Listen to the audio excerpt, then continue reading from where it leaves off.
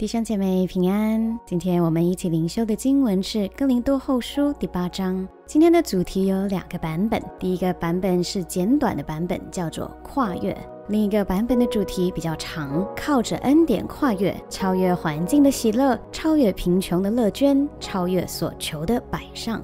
很多时候，我们需要再三的鼓励和不断的劝诫，人的心才被激动。也许能够做到百分之八十来回应，就已经不得了了。但在哥林多后书第八章，我们看见圣徒的榜样，不是百分之八十而已，也不是百分之百的回应，而是超越百分百，进入一个超越的境界，一个突破的境界，一个无止境的领域。这是神的领域，因为我们的神不受限制，神的一切无限量。阿门。当一个信徒或是一个教会进入如此无止境的境界，彰显的就是耶稣基督的生命，成为他人极大的祝福。第八章这里就提到了三个这样的榜样：马其顿教会、提多，还有保罗自己的榜样。这样的爱与付出，效法与耶稣基督为我们倒空的舍己。第九节，你们知道我们主耶稣基督的恩典，他本来富足，却为你们成了贫穷，叫你们因他的贫穷可以成为富足。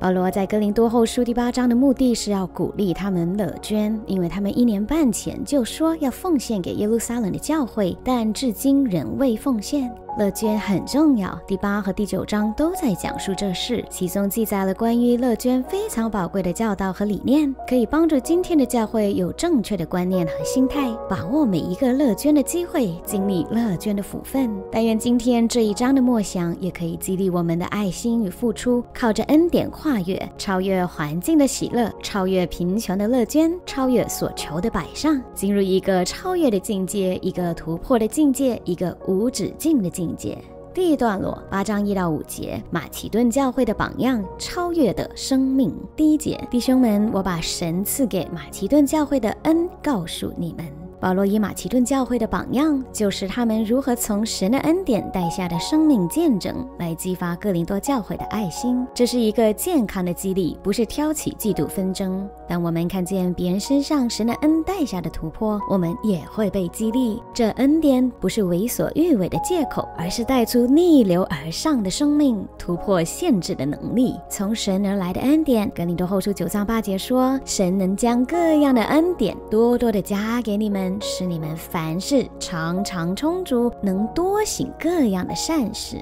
神的恩典超越外在的环境和内在的有限，使人逆流而上，突破环境，不受限制。第一，神的恩典使我们患难中喜乐，就是他们在患难中受大试炼的时候，仍有满足的喜乐。第二，神的恩典使我们贫穷中乐捐，在饥穷之间格外显出他们乐捐的厚恩。第三，神的恩典使我们按着力量超越力量。第三节，我可以证明他们是按着力量，而且也过了力量。当我们面对困境和贫穷，自然就会觉得环境不允许，我就只有那么一一点点，我自己也缺乏，如何的给呢？如何喜乐的起来呢？如何做得到呢？这是我们天然人的光景。但神的恩典使我们超越环境的辖制和自己的不足，让我们可以在患难中有满足的喜乐，在穷乏中。中可以乐捐，甚至超过自己原有的给出去，无论是金钱上的给予，或是服饰上的给予。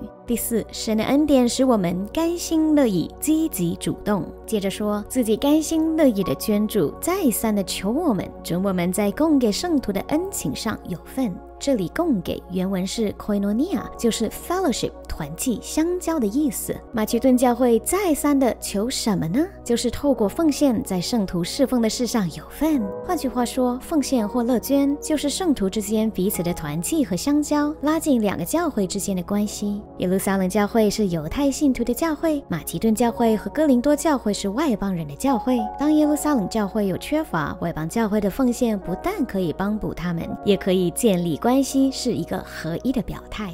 第五，神的恩典使我们照人期盼，照神旨意。第五节，并且他们所做的不但照我们所想望的，更照神的旨意。保罗对他们的期待不是私心，而是按照神的旨意。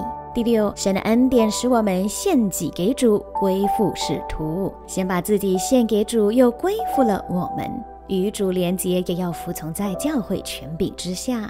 第二段落八章六到十五节，从愿做的心到办成的事。第六节，因此我劝提多，既然在你们中间开办这词汇的事，就当办成。这里词汇原文就是恩典，圣经直接称奉献为恩典，与第一节神赐给马其顿教会的恩是一样的，是神的恩典。同样的恩典已经在哥林多教会启动，所以不要停在启动的阶段，要把这事完成。换句话说，不要半途而废，不要三分钟热度。第七节，你们既然在信心、口才、知识、热心和待我们的爱心上都格外显出满足来，就当在这词汇的事上也格外显出满足来。他们既然如此夸口，保罗就劝他们也要在乐捐的恩典上显出同样的满足来。此恩典就是乐捐的恩典，超越困难和环境，超越自己力量的乐捐之恩。信心、口才、知识、热心和爱心要不断增长，多而又多，abound in everything。同时也要。同样的，在乐捐的事上多而又多，abound in grace。我们的追求要全方位的追求，不要走偏了。八到十二节，被他人的热心激发眺望，以基督为榜样。第八节，我说这话不是吩咐你们，为什么不是吩咐呢？乐捐其实是甘心乐意的，不是勉强的。保罗说，乃是借着别人的热心试验你们爱心的实在。既然夸耀自己有热心有爱心，就要有行动表现出来。耶稣是我们最好的榜样。第九节，你们知道我们主耶稣基督的恩典。耶稣基督的恩典是什么样子的恩典呢？他本是富足，却为你们成了贫穷，叫你们因他的贫穷可以成为富足。同样的恩典要领到我们，使我们也可以给出去，可以倒空自己，好让他人得着富足。这就是耶稣基督的恩典。第十到十二节，我在这世上把我的意见告诉你们，是与你们有益，因为你们下手办这事，而且起此心意已经有一年了。如今就当办成这事，既有愿做的心，也当照你们所有的去办成。因为人若有愿做的心，必蒙冤呐，乃是照他所有的，并不是照他所无的。一开始那，愿做的心非常重要，是蒙冤呐的，但不要停在那里，要把愿做的心实行出来，无论能够给的。的或多或少都蒙神悦纳，因为是按照所有的，不是按照所没有的。神没有质问我们关于我们所没有的，这样的理解释放我们脱离增进比较的心，也释放我们脱离自我控告的愧疚感以及自我高举的优越感。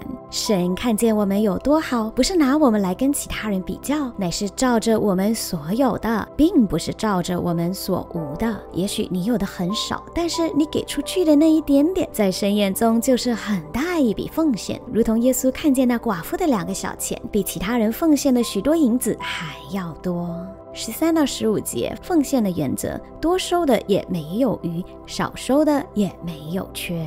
十三节，我原不是要别人轻省你们受累。有些人会心里觉得不公平，凭什么我辛苦赚来的钱要乐捐帮助他人呢？这里保罗解释：我原不是要别人轻省你们受累，乃要均平，就是要你们的富余现在可以补他人的不足，使他们的富余将来也可以补你们的不足，这就均平了。这里教导一个属于神国奉献的原则，与世人的理念不一样。世人认为赚钱越多越好，存的越多越好。但是十五节说，如经上所记，多收的也没有余，少收的也没有缺。记不记得以色列人出了埃及，在旷野的日子，神赐给他们玛纳？摩西对他们说：“出埃及记十六章十六到十九节，耶和华所吩咐的是这样：你们要按着个人的饭量，为账目里的人按着人数收起来，各拿一俄梅尔。以色列人就这样行，有多收的，有少收的，即使用俄梅尔量一量，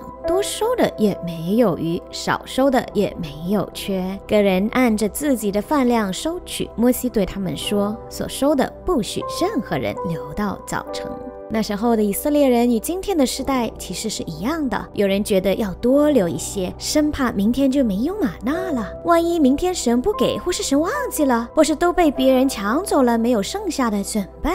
他们不认识神，也不相信神，所以他们有人不听从摩西的吩咐，偷偷的把多余的玛纳储存起来，岂知第二天早晨就发现生虫变臭了。因为神说，多收的也没有余，少收的也没有缺。亲爱的，我们给出去是不会缺乏的，我们留起来也不会有多余的，所以我们可以放心的给，我们绝对不会受亏损。第三段落八章十六到二十四节，妥善办理奉献的事宜。保罗打发三位众教会认可的同工成为同行的伙伴，以及把奉献带去耶路撒冷，其中包括提多，还有两位没有提名的弟兄。保罗这样妥善的安排，行事光明磊落，堵住任何控告或闲言闲语的空间，给我们立下了非常好的榜样。十六、十七节，多谢神感动提多的心，叫他带你们殷勤向我。一样，他固然是听了我的劝，但自己更是热心情愿往你们那里去。提多如此的热心，不只是因着保罗的劝勉，更是被神感动，心甘情愿亲自往哥林多去。十八、十九节，我们还打发一位兄弟和他同去，这人在福音上得了众教会的称赞。不但这样，他也被众教会挑选和我们同行，把所托于我们的这捐资送到了。有些解经家认为这是指路加，不是保罗自己一个人挑选，是众教会的挑选，委托他们负责运送捐款。乐捐有双重的果效：第一，奉献可以荣耀主，不是荣耀捐款的人，这理念非常重要；第二，奉献又表明我们乐捐的心。有时候人愿意，但没有机会，所以这里指机会来了，好让人心里面乐意的心有机会可以表明出来。透过这一次的奉献，写明内心乐意。奉献的心智，无论是乐捐的心智，或是顺服神的心智。二十节，这就免得有人因我们收的捐银很多，就挑我们的不是。我们必须谨慎。有时候做好事若没有谨慎周全的处理，会被人扭曲为控告我们的借口。即便如此，这不拦阻我们，乃是提醒我们要更加的谨慎办理，打发有教会认可的同工同行，免得留下破口或把柄。问心无愧，不是遮遮掩掩成为一个什么也不敢做的缩头乌龟，也不是完全不理会他人而成为一个我行我素的独行侠。问心无愧，乃是在教会权柄的遮盖和团队同行的保护中，走在神的旨意里。二十一节，我们留心行光明的事，不但在主面前，就是在人面前也是这样。这两者缺一不可。有些人只在乎坐在主前，完全不理会他人而绊倒了人；另外有些人只在乎人前所做的，完全忽略了神的法则和旨意。这两个极端都不好。我们要学习如何容神一人，如何在主面前，也在人面前留一行光明的事。对保罗而言，他问心无愧。所以他打发教会认可的童工一起同行。他没有鬼鬼祟祟，也没有把自己孤立起来，把别人排挤在外，没有不让别人碰他的施工或奉献。通常心里有鬼的人才会遮遮掩掩、躲躲闪闪。我们必须同时在主面前，也在人面前行光明的事，这才是真正的光明磊落。二十二节，我们又打发一位兄弟同去。这人的热心，我们在许多事上屡次试验过，不是随随便便一个路人甲，或是一个没有经验、什么都不知道的信徒，必须是一个在许多事上多次被认可、有热心、有信心的信徒。现在他因为深信你们，就更加热心了。这人相信格林多教会，乐意奉献。对自己身边的同工以及众教会所认可的同工，保罗以如此肯定的眼光来尊荣他们。二十三节论到提多，他是我的同伴，一同为你们劳碌的。亲爱的，我们是用什么眼光看待我们的团队呢？看待与我们一起服侍的弟兄姐妹呢？是我们的同伴吗？还是我们的对手？是一同为教会劳碌的，还是霸占羊群、占山为王呢？亲爱的，我们身边的同工是我们的同伴，一同为教会劳碌，一起服侍教会。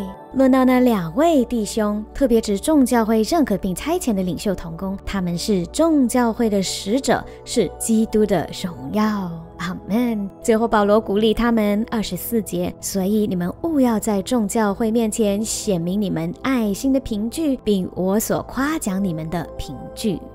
最后，我们来回应与祷告。今天这一章节的默想，是否激励了你的爱心与付出呢？让我们领受神的恩典，效法耶稣基督的榜样，并以马其顿教会、提多还有保罗的范例来彼此的激励，靠着恩典跨越，超越环境的喜乐，超越贫穷的乐捐，超越所求的摆上，进入一个超越的境界，一个突破的境界，一个无止境的境界。让我们来祷告。主啊，谢谢你如此美好的恩典，使我们超越环境的辖制和自己的不足，让我们可以在患难中有满足的喜乐，在穷乏中可以乐捐，使我们按着力量，甚至超越力量，超过自己原有的给出去，无论是金钱上的给予，或是服饰上的给予。主啊，我们要在奉献的事上甘心乐意、积极主动，透过奉献与信徒之间有更美好的连结和相交，在圣徒侍奉。的事上有份于其中，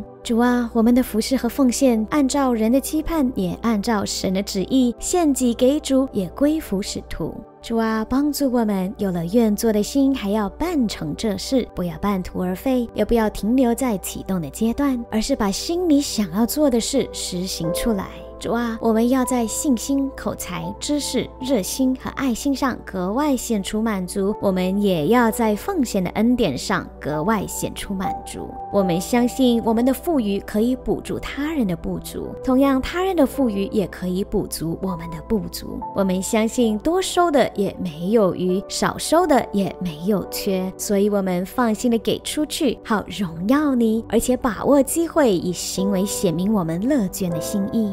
主啊！教导我们在主面前，也在人的面前，留心行光明的事，帮助我们谨慎周全的安排教会的事宜，不留下把柄让人控告，好让我们可以问心无愧，在教会权柄的遮盖和团队同心的保护中，走在神的旨意里，帮助我们不要遮遮掩掩，成为一个什么也不敢做的缩头乌龟，也帮助我们不要完全不理会他人，而成为一个我行我素的独行侠。求主教导我们，同时在主的面前，也在人的面前行光明的事。奉耶稣的名祷告，阿门。